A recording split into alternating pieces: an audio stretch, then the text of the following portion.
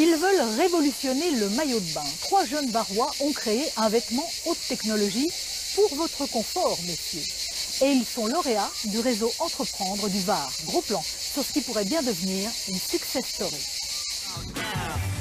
Sur la plage, c'est un véritable défilé. Mais qu'il soit court, long, moulant ou coloré, le maillot, messieurs, vous pose souvent problème. Ça gratte des fois avec le filet et puis euh, même eu des irritations.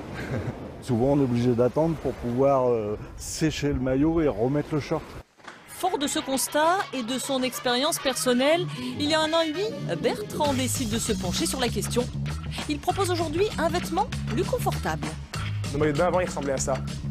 Donc c'était déjà euh, pas très beau. Et en plus, surtout, on avait euh, ce gros problème de confort. À l'intérieur, il y avait ce produit-là. Donc on a décidé de créer le premier maillot de bain avec un véritable boxeur intégré. Donc c'est-à-dire que vous avez quelque chose de directement cousu à la ceinture. Vous avez un sous-vêtement. Confortable.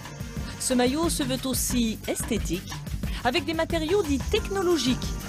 Oui, ici, les petites gouttes d'eau restent à l'extérieur. Alors, euh, les composants viennent d'un peu partout. On a euh, du tissu qui vient d'Espagne. Euh, le bouton euh, est fabriqué euh, en France. Le zip, il est fabriqué en Italie.